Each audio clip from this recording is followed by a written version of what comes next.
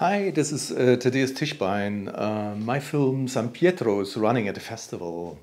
Um, just a few words to my film. It's based on um, a poem by uh, Russian American poet uh, Joseph Brodsky.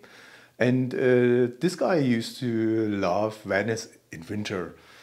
Uh, and so there's a lot of fog involved. And um, in the poem, the, the, the fog is kind of taking over and transforming this the city into a space of, of a ghostly, uh, a ghostly uh, surrounding. It's it's closer to our thoughts, and uh, yeah, and the film is, is taking this idea and um, uh, telling it in a form of um, a long distance call. So people have to rely rely on describing with their voice, uh, with their own language, um, what they see, and um, so I hope, yeah, it's it kind of translates into this uh, ghostliness and and and interesting perspective on the city.